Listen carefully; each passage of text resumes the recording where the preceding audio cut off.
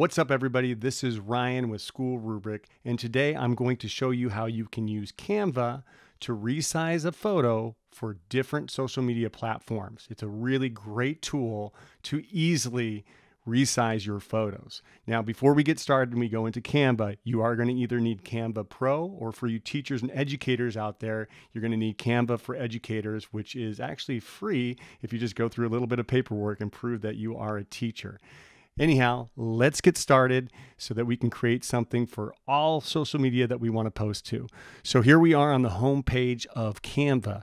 And what we're going to be doing is we're going to be creating a thumbnail for this video. So we want to create a design and we want to create a YouTube thumbnail.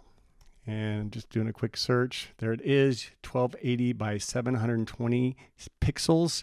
I'm going to come right here and it's going to bring up a bunch of different templates that we can use to create our our thumbnail for YouTube. And I'm just going to pick this one, which comes up right away, best surfing clips. Uh, we aren't making a surfing video, so we're going to go ahead and rename this. And before I do that, let me just come in here and ungroup this so I can have a little bit more flexibility with what I'm doing. Okay, how to resize photos for social media using Canva. There you have it. And we're going to want to obviously change the size a little bit. Let's bring this down to maybe 320. It's got a lot of spacing going on here. So let's see if I can kind of bring that spacing in just a little bit. That way I can bring my sizing up a little bit more. Okay, that looks pretty good to me.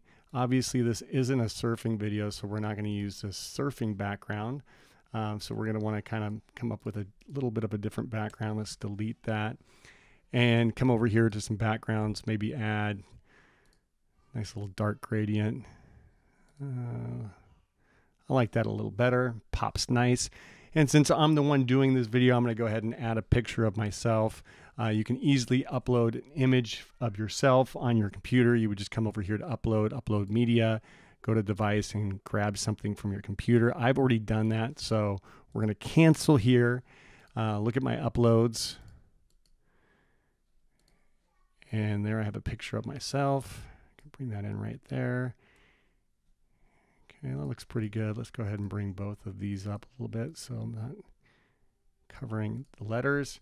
And there you have a real simple, cool thumbnail. And what we want to do now is we're going to want to resize this for the different social media platforms that we want to post this to. So first I'm going to come up here and just go ahead and name it resizing, resize with Canva. And then this is YouTube. Okay, so we got our YouTube thumbnail, and what we're going to come over here do is this is where the magic happens. We're going to resize. And right now you can see we've got the 1280 by uh, 720. But what we're going to want to do is we're going to want to resize for Facebook, which ideal size for that is 1200 by 800. And then we also want to resize for our stories and maybe um, Pinterest. And this 1280 by 720 actually works really well for Twitter and LinkedIn. So I'm going to go ahead and just leave, not going to add another size to this. So we're going to resize it twice, copy and resize. And you can see up here, it's doing the work for me. And right here, you can see this would be a great size for obviously our our stories. You know, we'd want to, you have to make some little bit adjustments, but it does do a lot of work for us probably want to resize some of the lettering. That looks pretty good. Maybe a little bit smaller. Let's come here to 45. There we go. Bring this down a little bit. Oops.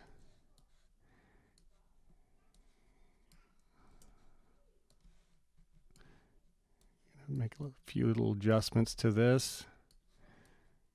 There I am, nice and big. Um, you know, you've also got, there's some great little tools over here that you can use to sort of uh, add some elements. So say I wanted to add like a, a Twitter Twitter icon, um, or you know, in the, in the case of you may have uh, your logo that you want to put on up here. This is a really great tool for being able to easily just add um, certain elements to your um, to your design. Anyhow, you get the point. You can add your logo there. We don't want to do that. We're going to go back to this. So I've got here my size for stories. So I'm just going to go ahead and name this by the pixels, 1000 by 1500. And let's come over here. This is the 1200 by 800. I don't have to do much to this. Few little tweaks, and this one's going to be ready to go. Just going to make sure I name these properly. 1200 by 800. And there you have it. I have now three sizes that I can use for social media. It's really easy to do this. So if you want to download them, you're just going to come over here and we're going to download this as a JPEG. And I've got my first design right here. I'm to go ahead and download this again as a JPEG. And then finally for my YouTube uh, thumbnail, and then also I can also use this with Twitter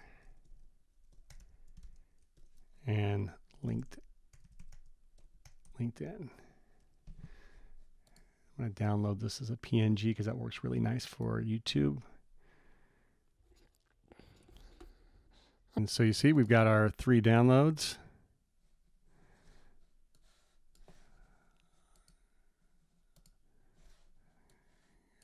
Got our three different images ready to go, which is pretty cool.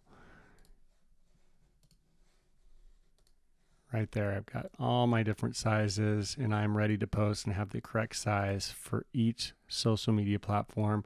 So there you have it, a really great tool to resize your images for different social media channels. Hope you enjoyed the video. If you did, please hit the like button, subscribe, and do all that other stuff. Follow us on social media. Until the next video, I'll see you then.